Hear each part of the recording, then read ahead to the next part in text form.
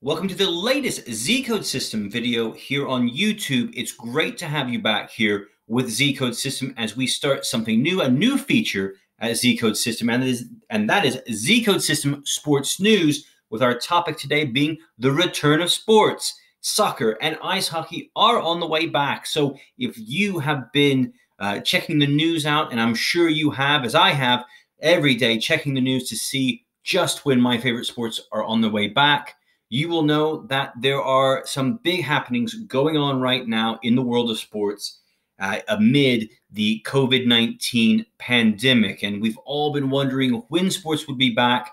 And we do have some answers now with a few select sports and sports leagues. Uh, over the next couple of weeks. So let's get right down to it, guys. But of course, remember, you can always go over to the Z Code System blog, read up on all of the information that we have there and when all the sports are going on, you can get the best picks and predictions from our expert writers, as well as join up to Z Code System and get all the tools that help you win when you invest in sports betting. So, guys, let's get on to this Z Code System sports news for this week.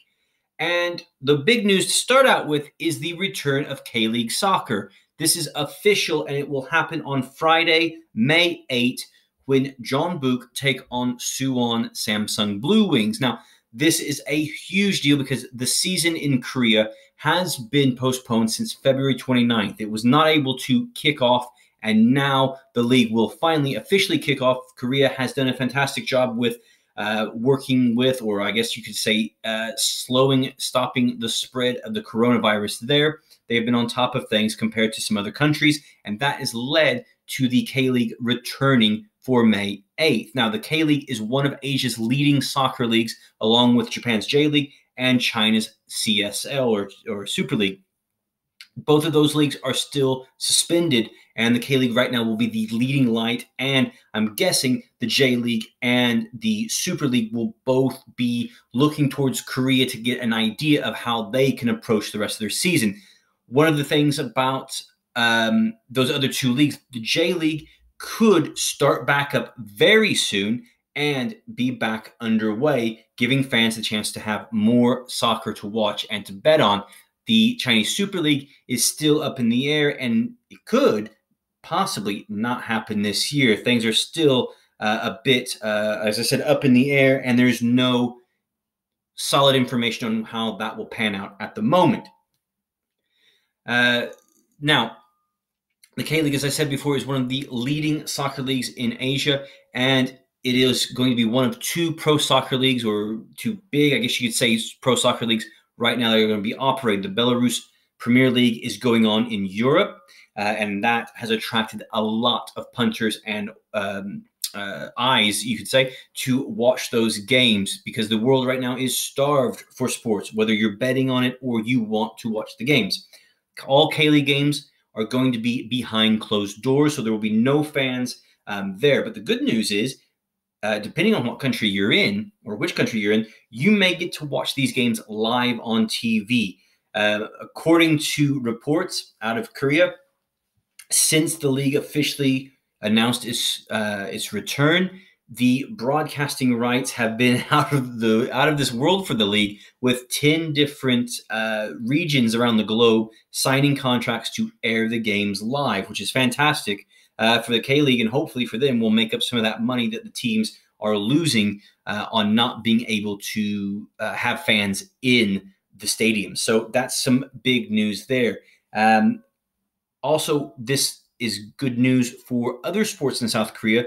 Uh, Korea has one of the top baseball leagues in the world, the Korean Baseball Organization, the KBO.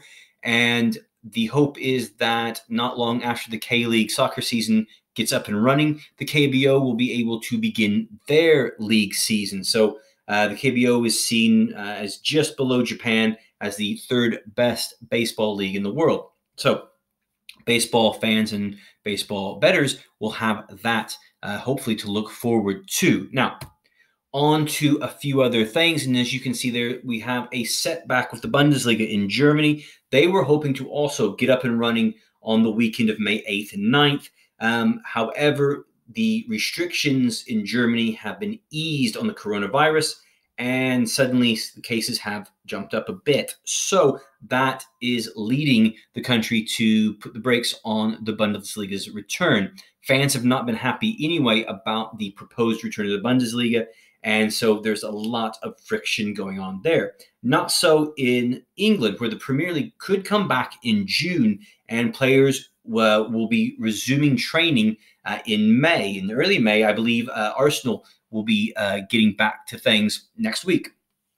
The government in the UK has backed the Premier League's return uh, for various reasons, economic as well as moral uh, reasons to get the, or morale reasons, I should say, getting the public uh, back up with their morale and, uh, you know, as these restrictions are continuing on. Next week will be the seventh week in the UK that the restrictions have been in place.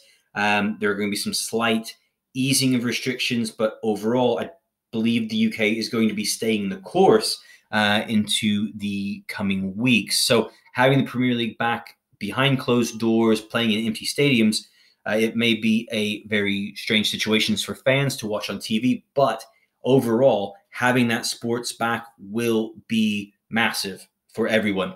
Now, I already talked about the Chinese Super League possibly not going to come back this year. Um, another league I was looking at just a few minutes ago, the Thai, uh, the Thailand League, uh, the Thai League, I believe is what it's called. They are hoping for a return in the summer. Um, initially, word was they would be back in May, but it looks like due to some circumstances at the moment, uh, over the last couple of weeks, they're going to push that back into the summertime.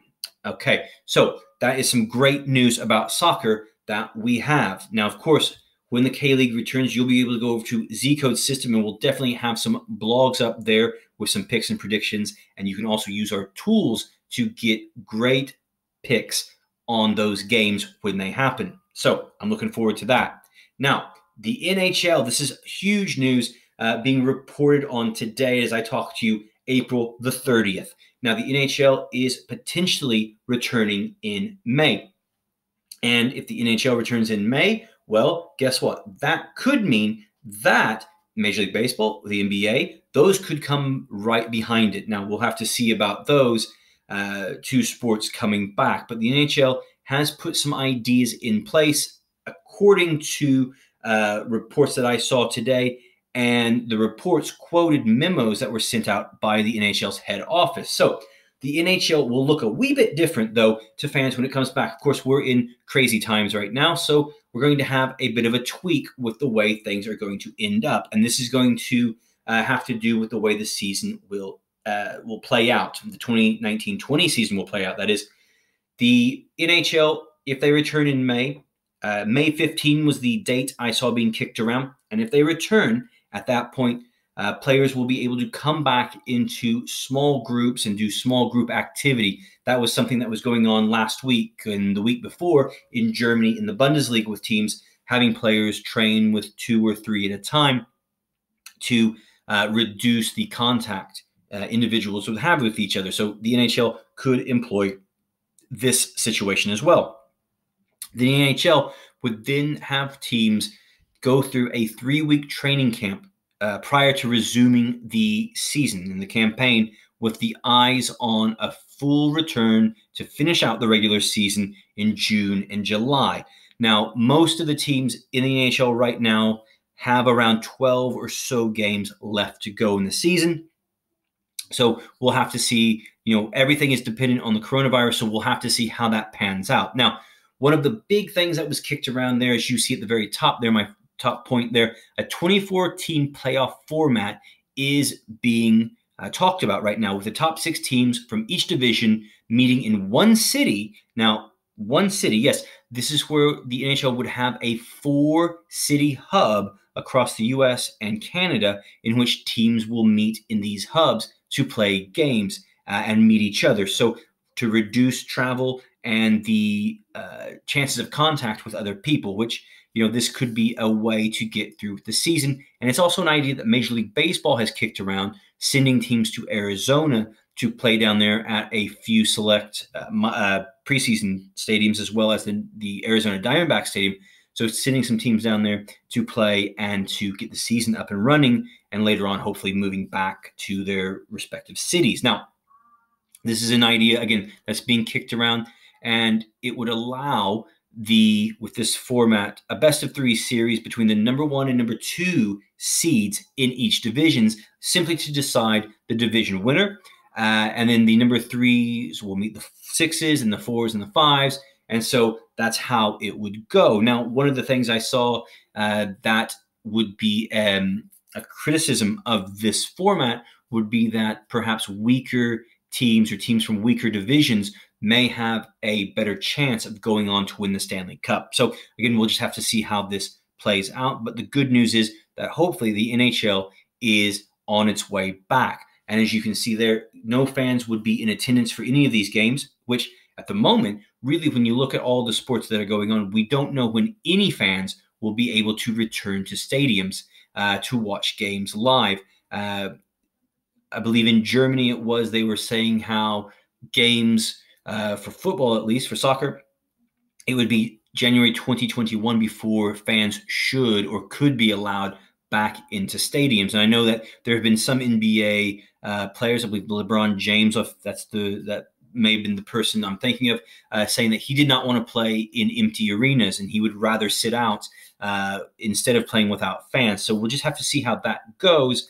Obviously, the uh, finances of uh, playing in front of empty seats uh, is a big hit. But again, with so many games that could be on TV and the chance for sports stars, people to watch the games, it could be a huge boon for each sports league. Now, um, if you see there, the Stanley Cup finals could be held in September, with them ending at the end of that month, and then the NHL postponing the beginning of the regular season for next year uh, to December 2020, uh, which is just uh, a two month delay. And basically, teams would just have a few weeks off and then continue on playing into the next season. Again, extraordinary times call for extraordinary measures. And as you can see here, the NHL is coming up with a contingency plan here. Now, again, as I said earlier, everything is contingent on the coronavirus and how it spreads or slows or stops, and depending on the country that uh, these sports take place in. So we'll just have to see how that goes. But of course, you can stay up to date on various news and sports with Z Code System. And hopefully, next week, we'll be back with another sports news segment that's going to have more very good news for all of you guys. And hopefully, we'll have some more leagues coming back. Now, you can go over to Z Code System, get the latest picks and predictions on various sports. Uh, you can get picks and predictions right now on the esports that we have going on around the world and you want to get in on that, we've got some great videos here on YouTube for you to also check out and get up to date on esports, as well as horse racing, which is also going on in the US as well as in Australia.